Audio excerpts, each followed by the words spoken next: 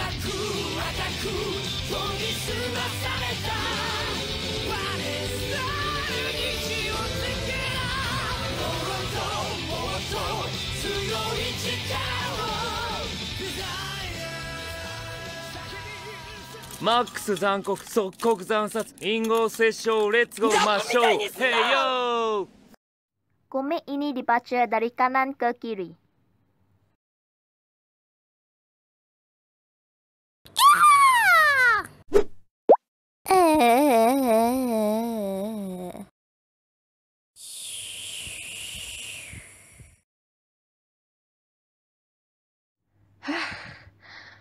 Phew. Dah kenapa kau termengah-mengah ni, Hiro? Kau ni miang ke?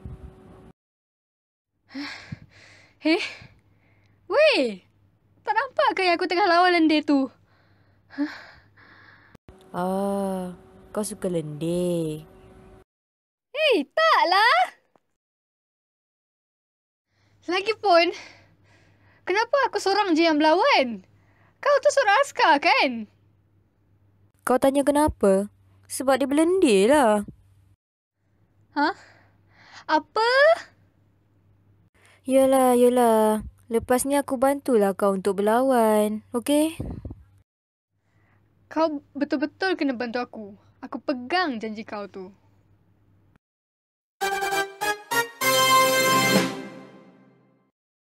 Kemunculan Nise Panda. Oh, dah muncul pun. Jom. Adoy!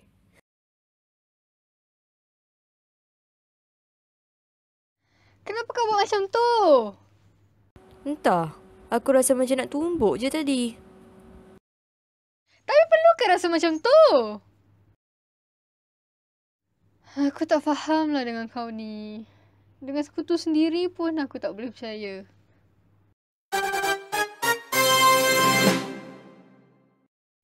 Jangan kau berani nak naik tahap ya. Hiro, kejap. Apa lagi? Berani betul kau cakap begitu dengan aku eh?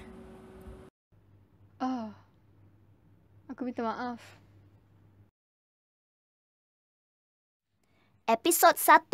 Pengembaraan hero bermula. Pada satu hari, tiba-tiba satu lubang besar muncul di muka bumi. Pada masa yang sama, raksasa-raksasa lain pun muncul. Maknanya, Raja Saitan, Lukimides yang telah ditangkap oleh hero Crisian seribu tahun yang lalu sudah kembali.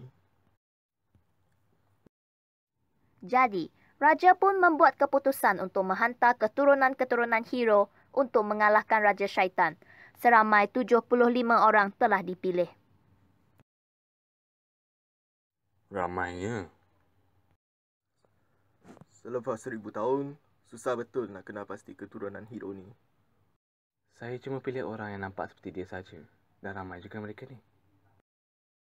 Katanya si Raja Syaitan ada tanda begini pada badannya. Kita hanya boleh bermula dengan maklumat ini saja. Sekarang, orang-orang yang mungkin keturunan hero agung. Sesiapa yang dapat mengalahkan Raja Syaitan akan dikurniakan dengan harta yang banyak dan gelaran hero sejati.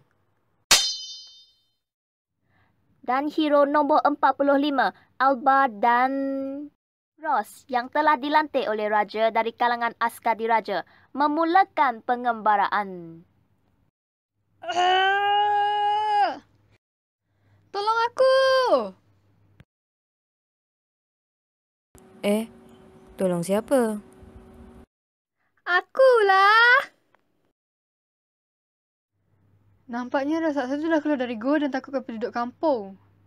Dengan kata raksasa tu bahaya. Tapi sebagai hero, aku takkan lepaskan raksasa tu. Mereka akan beri hadiah jika kau boleh bunuh raksasa tu. Jom. Alah, kena beratur lah pula. Episod 2, Pertembungan Hero.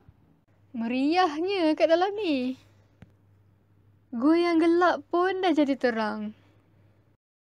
Hiro, mereka ada jual Pau daging lah kat sini. Betul ke penduduk kampung dalam bahaya ni? Hei! Jangan halang pintu masuk lah. Ah, maaf. Oi, buta ke? Oh, saya minta maaf.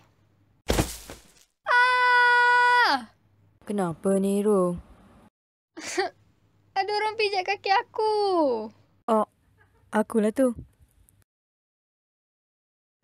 Aku tak sangka akan jadi macam ni. Aku tak nak. Aku nak balik rumah. Mana boleh kau nak larikan diri di saat mereka memerlukan bantuan? Apa kau ni? Hei, kenapa kau pula yang bersemangat lebih ni? tak nak. Dahlah aku kena tusuk dengan pisau dari mana entah. Akulah yang tusuk tu. Aku dah agak. Tak guna kau. Kau mana ada pisau? Dari mana kau kutip pisau tu, ha? Macam mana kau tahu? Aku memang beli untuk kau pun. Eh? Apa? Jadi kau memang beli untuk tikam aku lah. Ah, bodoh punya pisau. 60 markah tambahan untuk hero. Hero naik tahap. Ah, aku dah bunuh dia. Belum apa-apa lagi aku dah bunuh dia. Alba, jomlah kita pergi minum-minum dulu. Kemudian kita pergi balai polis, okey? Kau tak payah nak buat-buat baik eh. Hmm, hmm, hmm. Kecil lagi orangnya ni. Buat pertama kali dalam hidup aku, aku betul-betul kagum dengan kau. Serius. Sudahlah. Uh, Ah, dia masih bernyawa lah. Ada tak bomoh ke apa ke kat sini? Macam-macam lah kau ni. Sini. uh, uh, uh. Hoi, apa kau buat ni ha? Ah. Kau... Kau boleh guna kuasa penyembuhan. Hmm, bolehlah setakat menyembuhkan luka. Kau tahu tak yang aku pun kena tikam juga? Hmm, tahu? Uh, fan, Fanta Anggo. Yay! Uh, kau dah selamatkan aku. Kau pun dah selamatkan aku. Oh, bukankah itu Loket Hero? Eh? Ah, ya, yeah, ya, yeah, ya. Yeah. Tengok, aku pun ada tanda juga. Sebab aku Raja Syaitan. Kebetulan pula kan? Eh? Akanku, akanku, polis semasa.